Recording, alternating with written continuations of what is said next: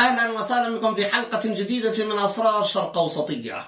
أول مناورات على صعيد الشرطة العسكرية بين قطر والولايات المتحدة الأمريكية تمثلت أساسا في مشاركة سبارتان هذه القوات الخاصة الأمريكية. والمعلوم أنها قوات تكتيكية أمريكية بالأساس وتسعى إلى آه، محاولة مواجهة ما سمي بالتحديات المتقدمة خصوصا على صعيد الاستعلامات وغيرها بالنسبة لإيران وأيضا على صعيد الجيوش. نجدها في مجلس التعاون الخليجي ونجدها أساسا آه، في مصر مثلا مع برايت السعر في هذه المناورات وفي الأردن. إذا عندما تتحول قاعدة السيلية القطرية إلى قاعدة لحماية كأس العالم انطلاقا من الشرطة العسكرية وليس من الشرطة العادية وتأهيل الشرطة العسكرية لقيادة هذا الوضع فإن الأمريكيين يضعون يدهم على أمن كأس العالم بشكل كامل. السؤال المطروح الآن هل هناك رغبة آه، في محاولة تمييز العمليات ما بين سينتقام القيادة المركزية من جهة وما بين عمليات سبارتان آه، بهذه المناورات الحالية لأول آه، مناسبة تجمع الشرطة القطرية الشرطة العسكرية القطرية بنظيرتها الأمريكية.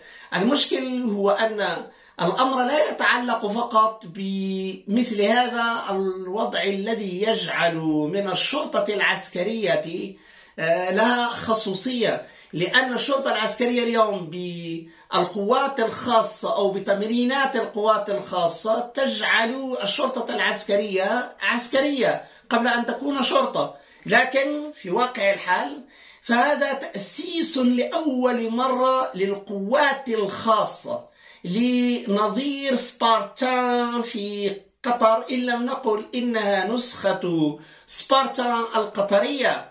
وهكذا فإن الوضع الذي يجعلنا آه، بشكل واضح أمام خارطة الأمن الجديدة لحماية كأس العالم ستذهب بعيدا باتجاه أولا أن يكون المسار على مستويين. المسار الأول هو القوات التكتيكية. القوات التكتيكية هي الشرطة العسكرية لقطر.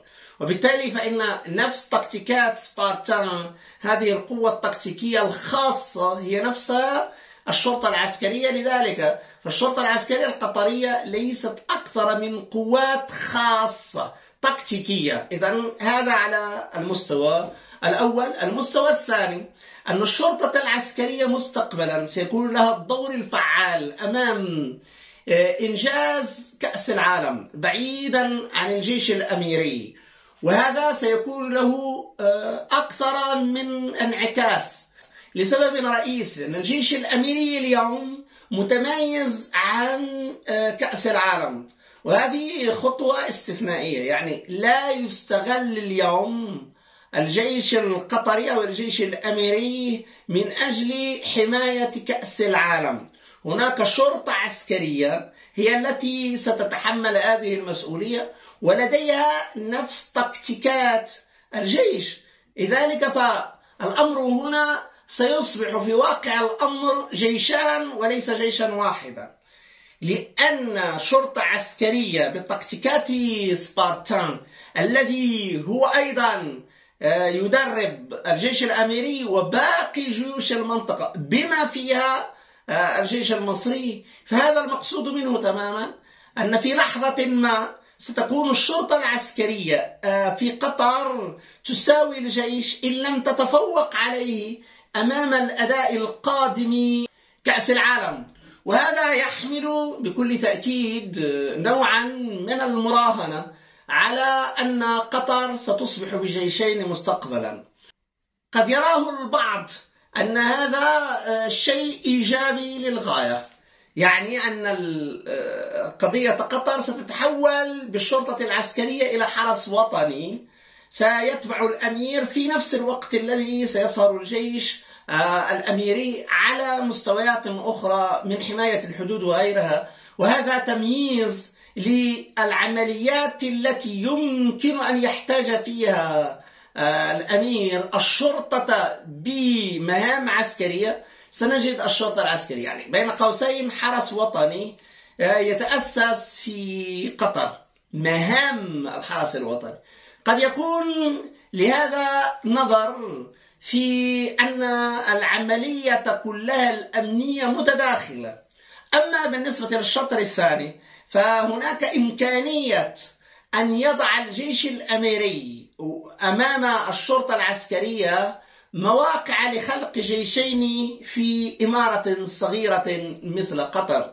وهكذا فإن تحديات كأس العالم ليس لاختراق أمريكا فقط والتي لن تصبح فيها قطر كالسالف ما بعد آه، آه، كأس العالم وإنما أيضا هنا تغير بنيوي من خلال هذه المسمات بنية أمنية أو بنية عسكرية على العموم بنية تأمين شامل للنظام القطري. وفي هذه النقطة على وجه التحديد فإن قطر مؤهلة أن تكون بجيشين وليس بجيش واحد في المستقبل القريب. التطور الآخر والشديد الأهمية أن الأمير تميم لا يتخوف من مثل هذا السيناريو لسبب بسيط لأن الأمر بالنسبة إليه نوع من التحديث الذي قد يقع على العموم في قطر ويجب أن يتواصل هذا الوضع باتجاه قوات خاصة. يعني أن من داخل الجيش الأمريكي ستتحول الشرطة العسكرية إلى قوات خاصة قطرية. وفي هذه الحالة قد يتجاوز الأمير أي وضع مماثل أمام خلق قوة خاصة من داخل الجيش. هنا يطرح سؤال.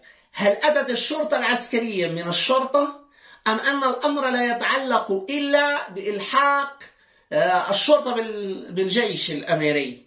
وفي هاتين المسألتين يظهر أن قطر اليوم ستصبح بهياكل أمنية متعددة ومتنافسة وفي كل الأحوال ولو كان الأمر آه، على القوات الخاصة فإن مثل هذه البنية ستغير بشكل كامل من الهرمية العسكرية عموما.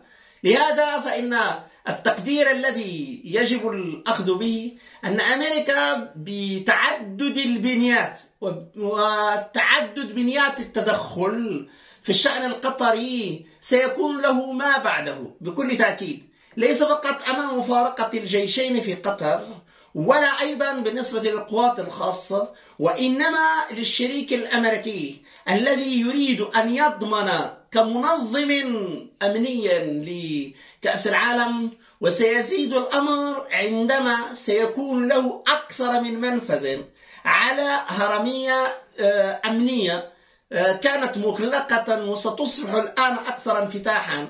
لكن بطرق مختلفة. أكثر انفتاحا قد تعني ببساطة الأكثر اختراقا وهذا الذي سيكشف عنه الوضع القادم. أما بالنسبة لسبارتان في السيلية فسيكون الوضع هنا شديد الخصوصية أيضا مقارنة بين سينتكوم وما بين هذه الفرقة التكتيكية الخاصة أو القوات الخاصة الأمريكية. وبالمجمل فإن العمل على القوات الخاصة مع أمريكا سيكون له مردود مختلف عما سلف لأن سبارتا عموما يعرفها الخليجيون ولكن الجزء الذي لا يدركه الجميع أن أكبر فرقة آه، خاصة تكتيكية آه، للاختراق الإلكتروني. يعني أن في الحرب الإلكترونية من أكبر الفرق والقوات الخاصة الأمريكية آه، التي أخذت أبعاد كثيرة. في 2019 كمثال كانت هناك شحنة من سيارات مدرعات. فوجدنا أمرا استثنائيا في وصول هذه المدرعات آه، المقاومة للرصاص باتجاه آه، سبارتان. فما الذي حدث؟ أن تفكيك كل المنظومة وإعادتها حدث. ثانيا أن كل ال data غيرت في هذه القوات الخاصة. معنى ذلك ببساطة شديدة أن سبارتان وأمام القوات الأخرى لديها خصوصية استثنائية في مجال الاختراق الإلكتروني والحرب الإلكترونية. وإن تمكنت سبارتان من إدارة كأس العالم فإن مسألة أولا الأمن الإلكتروني وأهم من كل هذا العمل مع الشرطة القطرية. في هذا الخضم سيجعل كل قطر في لحظة واحدة تحت السقف الإلكتروني لسبارتا وبالتالي لأمريكا. وهكذا فإن الاستقلالية بعدها استقلالية الإلكترونية إن صح التعبير أو استقلالية الحرب الإلكترونية لن تكون لقطر في المستقبل. وهذا الذي يضع إشكالا كبيرا أمام مثل هذا التدخل الشديد الأمريكي في قطر خصوصا أمام مخططات السيرية وأمام التدريب الثاني على وجه التحديد الذي حدث في هذه المناورات لمن يريد التدقيق فإن الأمر يستعصي حقيقة على أغلب الأجهزة العربية في مثل هذه المناورات التي جرت. لكن في واقع الحال فإن سبارتان الآن وأمام الحرب الإلكترونية الموجهة ضد إيران على وجه التحديد والتي الآن ستكون بنياتها انطلاقا من قطر لأن حادثة الانفتاح قد يكون حادثة اختراقا في آن.